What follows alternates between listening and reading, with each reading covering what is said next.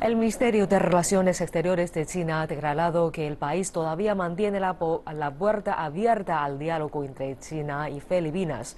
Esta declaración llega después de que el presidente filipino Rodrigo Duterte declara el jueves que enviarán un alto diplomático a China para negociar las relaciones bilaterales. China ha sido consistente en resolver los asuntos relevantes entre China y Filipinas a través de conversaciones bilaterales. En cuanto al arbitraje, China ha declarado en muchas ocasiones que no aceptaremos ni reconoceremos cualquier propuesta ni acción basada en dicho arbitraje. Esperamos que ambos países puedan regresar al consenso que teníamos y resolver los asuntos relevantes a través de conversaciones, así como trabajar juntos por la mejora de las relaciones bilaterales.